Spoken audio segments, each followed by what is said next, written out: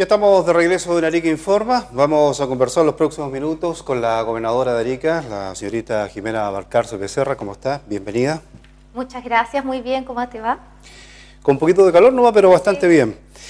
Eh, hoy día vamos a conversar eh, de la aprobación de este proyecto de ley, ¿cierto?, de parte del Senado, que tiene que ver con la aprobación de la inscripción automática y el voto voluntario.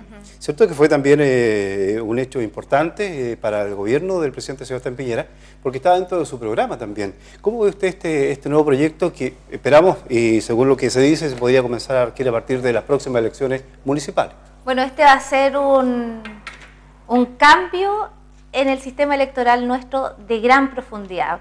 Primero que todo, hemos cumplido con una promesa de, campaña y se ha logrado con la transversalidad de los parlamentarios poder aprobar esta ley eh, que va a dar la opción de 4,7 millones de chilenos que tengan las ganas de votar, lo van a poder hacer sin tener que dirigirse a los registros electorales para inscribirse previamente. Eso seguramente, eso es un cambio tremendo más que el ninguno que hemos tenido, quizás el voto de la mujer, que puede haber sido un cambio tan grande como este. Y, es una profundización en la democracia. Esto es un paso más allá que la coalición por el cambio hace en profundizar la democracia y cumplir con un anhelo que, esperábamos mucho. Yo creo que, que el sector joven de la población no puede estar anexo o alejado de lo que son las votaciones, más, más allá de, lo que es la obligatoriedad como ciudadano, tiene que ver también con todo este movimiento estudiantil que mucha gente le decía, bueno, pero inscríbase y, elija y, participe de otra forma. Son en su mayoría jóvenes los que, los que no están inscritos entre 18 y 35 años, el gran porcentaje, y eso va a cambiar la opción, la mirada que tienen los políticos con respecto a los sectores más jóvenes de la población y también de las políticas de todos los gobiernos de aquí en adelante, porque sin duda eh, estos nichos electorales también van a demandar cosas que nosotros tenemos que cumplirles ya en un nivel distinto al como hoy día se, se ejecuta o se recepciona.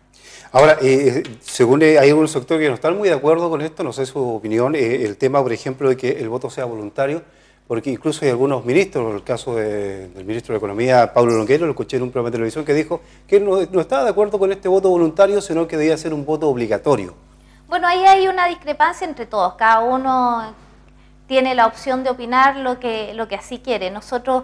Eh, lo que nosotros teníamos previamente y que en algún momento tratamos de impulsar en la Cámara de Diputados fue el voto, la inscripción automática y el voto voluntario. Nosotros no podemos pensar que en un país donde estamos profundizando la democracia vamos a obligar a la gente a votar. Yo creo que Chile ha crecido y ha madurado en su proceso democrático y hoy día estamos en las condiciones para hacerlo voluntariamente. Eh, yo creo que la obligatoriedad es uno de los de la reticencia de por qué los más jóvenes no quieren inscribirse y no forman parte del padrón electoral que hoy día tenemos en Chile.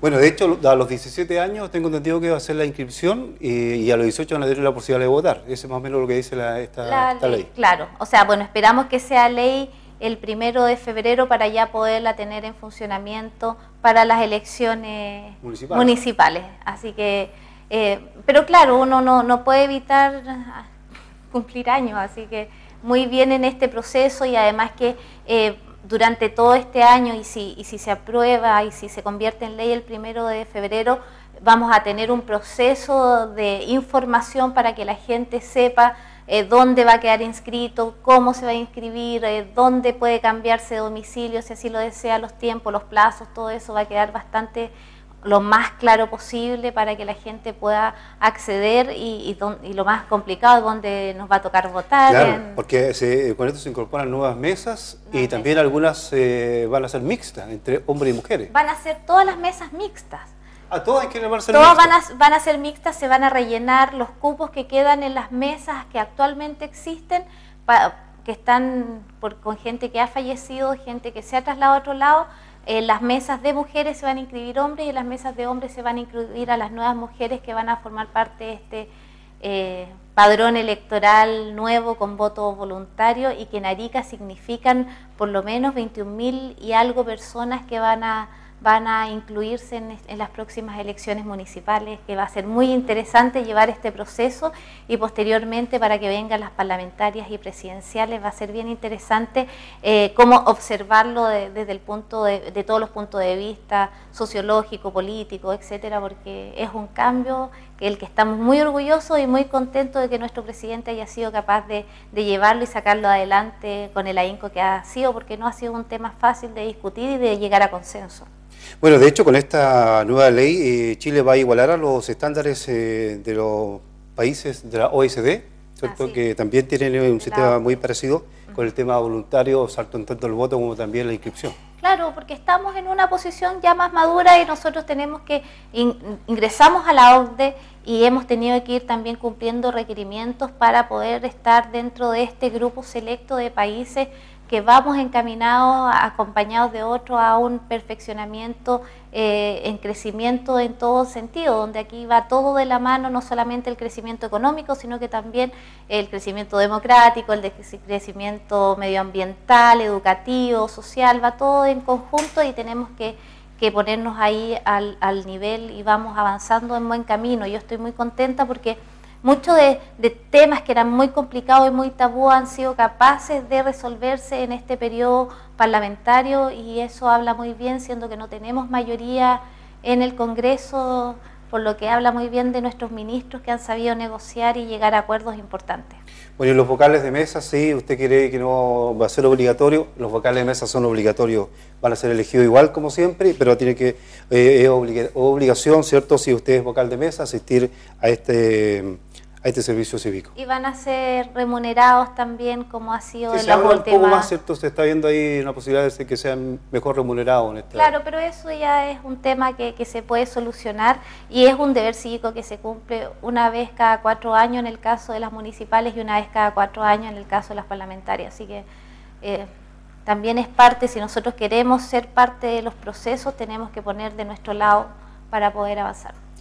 Bien, pues, gobernador, muchas gracias por acompañarnos hoy día. No, muchas gracias a usted y que tenga muy buenas noches. Y felicidades en estas fiestas de Navidad, si es que no alcanzamos a, a ver, ¿cierto? Así que muchas felicidades para su familia, para usted, para todo el equipo que trabaja también con usted en la gobernación. Igualmente, para José Manríquez y todo el equipo de Arica TV y todos los que diariamente lo sintonizan, porque cada vez que uno sale acá, eh, le dicen, ahí lo vi, la leí. ¿Le faltó decir algo o le faltó preguntar algo de eso? Está más gorda, está más flaca, está esto, sí. ok, muchas gracias, gobernadora. Ya, muchas gracias. Después hemos conversado con la gobernadora de Arica, la señorita Jimena Barcarce de Becerra. Nos separamos un instante y ya estamos de regreso con más noticias aquí en Arica Informa.